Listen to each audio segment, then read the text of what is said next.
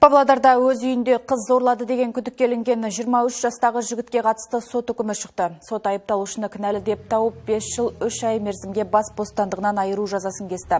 Бірақ айыпталушының анасы бұл шешіммен келіспейді айтуынша оның ұлына жала жапқан. Ұлы түнгі клубқа кеткен күні таңертең үйіне бөтен қыздың қонғанын көріпті. Алайда ұлы анасына мас болғанын, оған тиіспегенін, ұйықтап қалғанын айтқан. Содан анасы қызды үйінен қуып шыққан.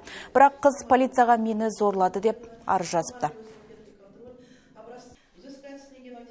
В общем, они там Олар таңғы беске дейін клубта көңіл көтеріп, таңғы алтыда үйге келген. Мен оны білгем жоқ. Такси жүргізушісінің айтуынша ол қыз үйге өз аяғымен кірген. Оны ешкім күштеп әкелмеген. Мен қыздан сұрадым. Сен қалай біздің үйге келдің деп. Сонда ол сіздің ұлыңыз мені үйге жеткізіп тастауы керек болған дейді. Сонда ол өз үйін білмей ме? Қалай бөтен үйге қонуға болады? Менің ұлым менің көзімше қыз зорлауы мүмкін емес. Мен үйде болдым. Ол ондай әрекетке барған жоқ.